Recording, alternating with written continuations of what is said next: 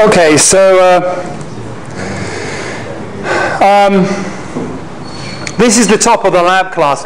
I've actually used the old way of loading in the data because of that slight bug in GPy if you're on Unix, um, that it won't uh, save the data in the write place. We need to fix that. Um, so this is the old way of uh, downloading the data, which should work on all machines as long as you've got right access to the directory you're in. But it's the same data as yesterday. Um, so I'll just run through the first few commands. So pylab in line, the magic command to get the plots in line. Um, downloading the data. Oh. Ah, doesn't work for me because I don't have internet access. Um, okay, so I'm going to have to. Uh,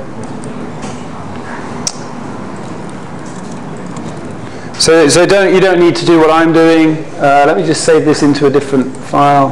Uh, make a copy. Um,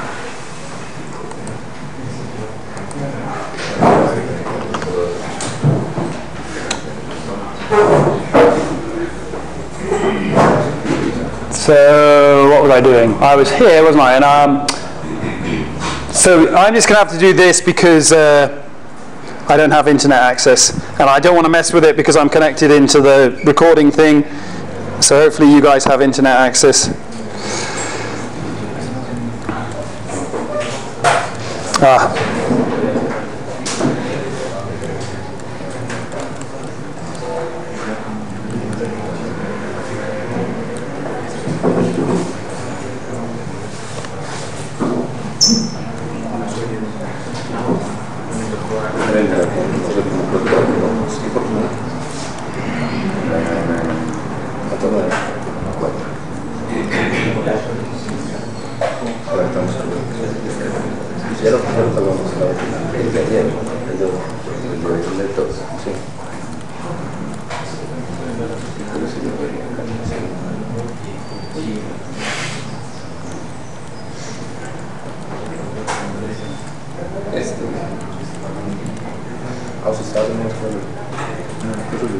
So about this, getting the data in for me. Hopefully that works.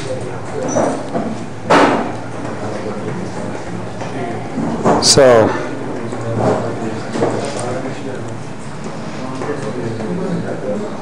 so I think that's hopefully worked for me.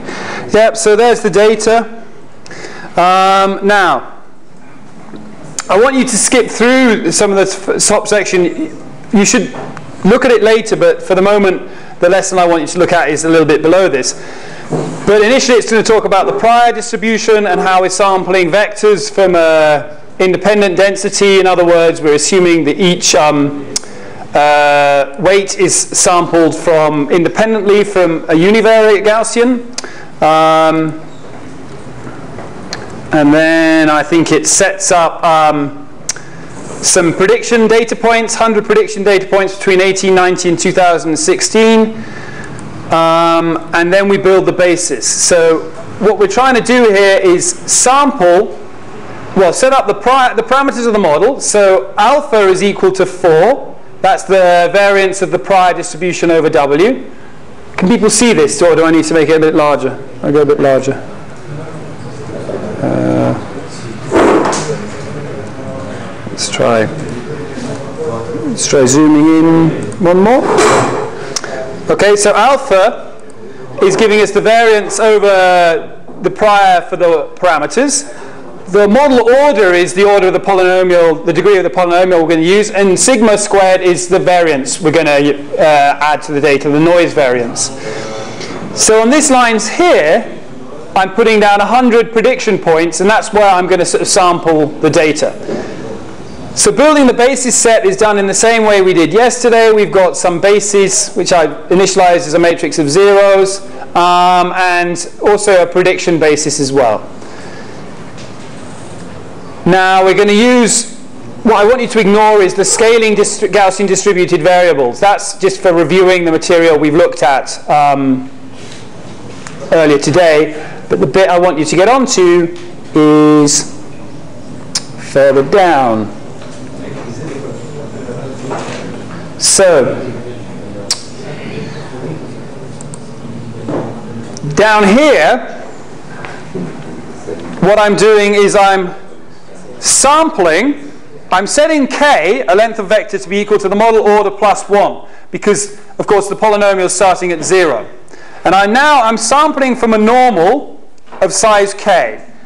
Now, instead of setting the scale directly inside the normal, which I could do, I'm now uh, scaling that by the square root of alpha, which comes to the same thing. This causes the, uh, the uh, sample variance to be alpha. And now I'm printing the sample. So this is our W that we've sampled from the prior right? So in our world of, we're going to generate functions in the ABC view of the world that we just saw earlier, that I've got a method of generating functions and I'm going to see if they fit my data. This is how we're going to generate our function. We first get a W, and then I'm just going to multiply the W by the basis. So I call the basis phi pred because it's the basis as computed across the entire line. So I'm going to do that. And oh my goodness, that's ugly, isn't it? So here's the plot of that. I've taken one sample, and there's the result. It's going from 1 times 10 to the 16, or minus 1.9 times 10 to the 16, to minus 2.6 times 10 to the 16. Horrible thing. So this is this issue of these polynomial bases. So it's scaling everything up. So for very large values of 2000, we've got an order 5 basis, so it's 2000 to the power of 5. And we're sampling from a Gaussian density which says variance alpha for that value, just as it says variance alpha for the linear and the mean part. So in other words, it's a prior that says something really dumb. It says that the order x to the 5 component is just as important in terms of the weighting as the order 0 component. So actually we talked a bit about one way of fixing this. There's a few different things you can do yesterday, but one of the things that was suggested was to rescale the data, and that's what this next bit does. So it takes the data, it looks at the range of data x, and it computes a minimum value and a maximum value, and it basically moves all these x's and these x preds to be between um, uh, minus 1 and 1. Okay? So I've done that, and now I'm recomputing the basis based on that, and now we'll sample again. Now you get something much more reasonable, yeah? So within the regime minus 1 to 1, polynomials are quite nicely behaved because I mean, they still aren't great, to be honest. And someone did talk about earlier about normalizing in the phi space rather than x, um, which I thought was an interesting idea and certainly could be explored. So that's one sample from our model. This is taking our prior and combining it with our basis, but getting rid of that stupid assumption which caused this idiotic function. Now that's a really important lesson.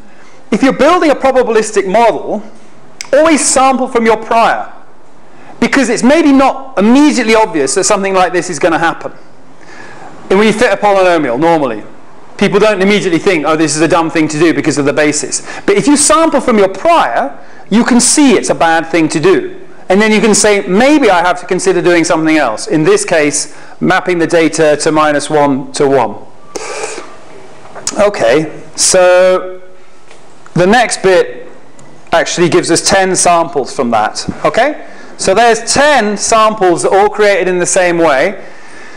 They uh, have a sample from W, which is scaled to variance given by alpha, and then that's multiplied by the basis matrix, which we saw before.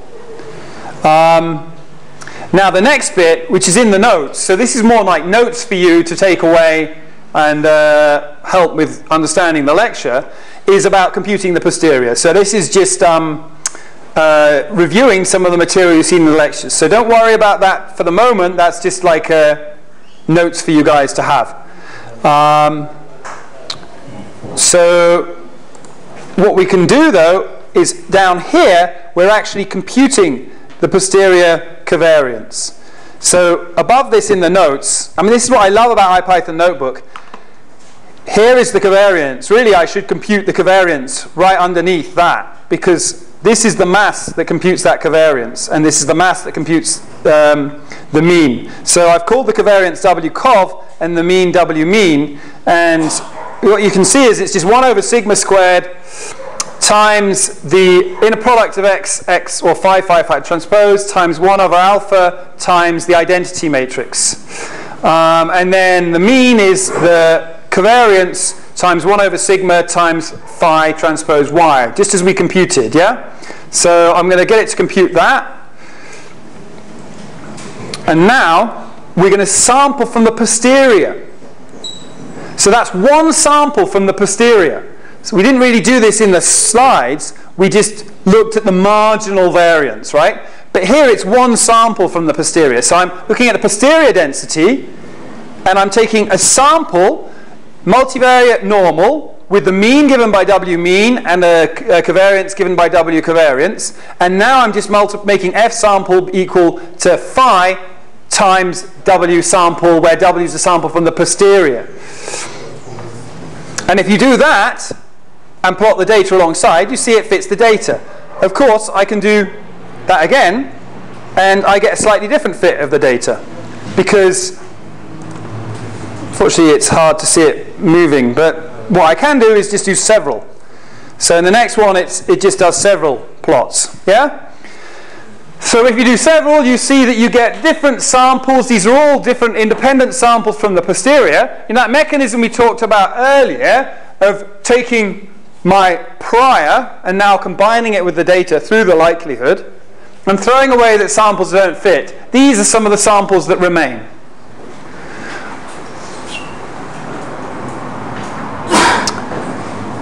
So I want to, uh, the next bit again I think is more notes bit so that you can, you can ignore the notes, well you can for the moment in the lab.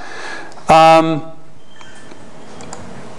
and then the piece that follows, so the, the next bit sort of talks about how you compute the mean and the variance of these samples, which is something we didn't go through in detail.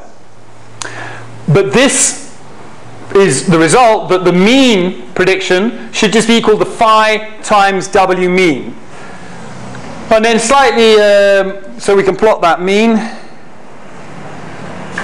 And there's the average of the, the mean prediction over all under, underneath the posterior. So the, the bit of stuff I skipped through here is just the math that shows you what that mean and covariance should be in rather a long-winded way. So that gives me the mean. Um, I'm going to skip for the moment through the error. And then the next bit here is how to compute error bars. So the error bars are a little bit more complicated. Um, the overall covariance of the posterior prediction is given by, it turns out, you, should know why this is, you should be able to derive this yourselves now, phi pred times the posterior covariance times phi transpose. Um, and the error bars I want to plot are the diagonal of that covariance, the marginal error bars. So this bit of code is just doing that and giving the ability to plot with error bars. Okay? So this bit up here, so why is it phi pred? This is the joint covariance, and this, because you know the rules of multivariate Gaussians, there's a load of convolved maths to get this out of the top, but you don't even need that convolved maths if you know the rules of multivariate Gaussians, because you know that what we're saying is that f is equal to phi times w. W is drawn from a Gaussian with mean mu w covariance sigma w, it immediately follows that f is drawn from a Gaussian with mean phi mu w and covariance phi sigma w sigma w uh, sigma transpose. That's just the multivariate Gaussian rules. So the mean was being computed above phi times mu, and here we're actually doing the full computation of the covariance. You don't need to do that. There's a cheaper way. You can see if you can work out what that cheaper way is. Um, but what we're doing here is, just to be clear about the process, is we're taking the full covariance, which is a very large structured object, and then we're throwing away everything but the diagonal. The diagonal gives us the marginal covariance, yeah? The covariance at each point. So the variance of each data, and then we're taking the square root of that, and then we're plotting, at the mean plus two standard deviations, the mean minus two standard deviations. And then that's the result. Yeah? Are people clear about that? Any questions on that? Because I'm just going to leave you to go through and play with that code. As I say, don't spend too much time reading the sort of notes part. I've sort of integrated this with some notes for you.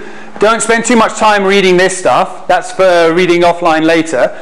But just try and get through down to the um, point at which you're plotting the posterior like this. And you can even, once you've done that, go back, change the model order, do it again. See what happens. Change the noise, change the alpha prior over the coefficients. Okay? Questions? Is everyone up and running with their uh, IPython notebooks? Good. Okay. So what we'll do, I think, is we'll give you half an hour. Half an hour to do that. Does that sound good? Yeah. Half an hour to play with that. So try and go through as quickly as possible, but understanding the code to get to this point. And then I'd really like you to go back and go all the way to the top and say, well, it's all about the prior, right? It's all about these parameters we put in. Bayesian inference is a mechanical process once I've set three things. Alpha, the variance, the prior variance on the um, coefficients, the order of the model, I've chosen a polynomial basis, and the noise. We're not learning any of those things here. And of course, then we have this later issue about effectively changing the basis by rescaling x. So that's a choice of basis. All of these things, they're just changing the nature of our marginal likelihood. Yeah?